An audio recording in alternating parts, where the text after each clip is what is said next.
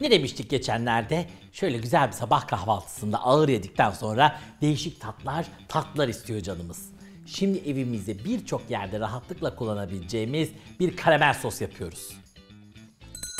Evinde yap başlıyor.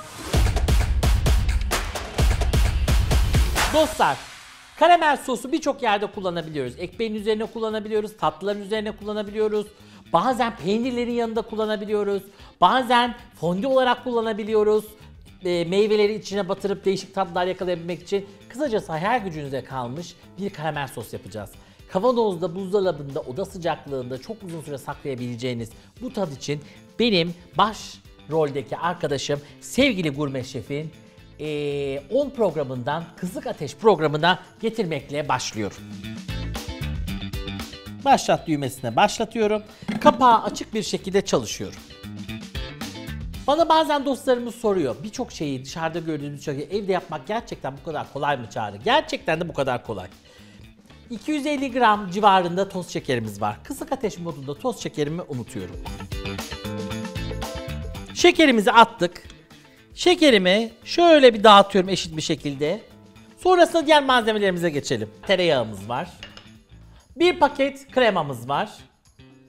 Ve eee, kaya tuzumuz var. Kaya tuzu çok yakışıyor karamele. Bu karamel sosunu keklerinizin içerisine kullanabilirsiniz. Ekmek arasında kullanabilirsiniz. Kurabiye içerisinde kullanabilirsiniz. Efendime söyleyeyim muhallebilerin üzerine kullanabilirsiniz. Ekmeğin üzerine kullanabilirsiniz. Hayal gücünüze kalmış. Saklaması çok kolay. Buzdolabında saklayabilirsiniz. Oda sıcaklığında saklayabilirsiniz. Kavanozlara koyup eşinize dostunuza hediye olarak bile gönderebilirsiniz. Şekerimizi unuttuk. Şekerimiz pişene kadar şöyle bir hafifçe karıştırıyoruz. Renginin değişmesini istiyorum. Bu güzel o karamel rengi var ya, o ha- yanık rengi yakalamak için şekerimi Gurme Şef'te kızık ateş modunda yanmaya bırakıyorum.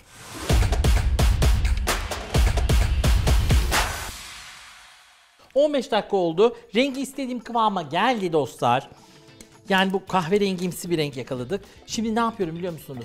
Sıra tereyağını koymaya geldi. Evet doğru yoldayız. Şu Jos sesini duymamız lazımdı. Burak gel yakından çek.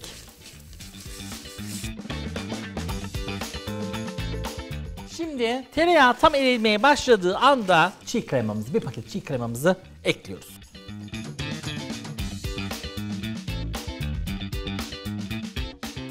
Bu biraz daha pişerken ben diğer yanda sunum kabımı hazırlıyor olacağım.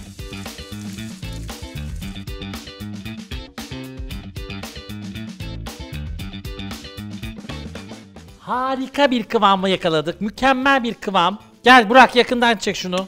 Mükemmel bir kıvam. Artık tabaklayabilirim. Ne demiştim? Meyve sebzeyle beraber fondü yapabilirsiniz dedim. Ben yanına harika bir kabak kestim. Kabakla beraber çok değişik bir lezzet yakalayacağınızı düşünüyorum. Ben hemen bunu çıkarıyorum. Buraya koyuyorum. Ve artık servise hazırlıyorum. Şöyle tatlış bir servis tabağı hazırladım. Soğudukça çok daha güzel kıvam alacak. Buzdolabında saklayabilirsiniz. Kavanozlayabilirsiniz. Dediğim gibi hayal gücünüze kalmış birçok yerde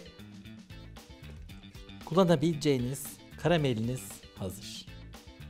Üzerine de deniz tuzu dökelim şöyle bir. Şu anda biraz sıcak.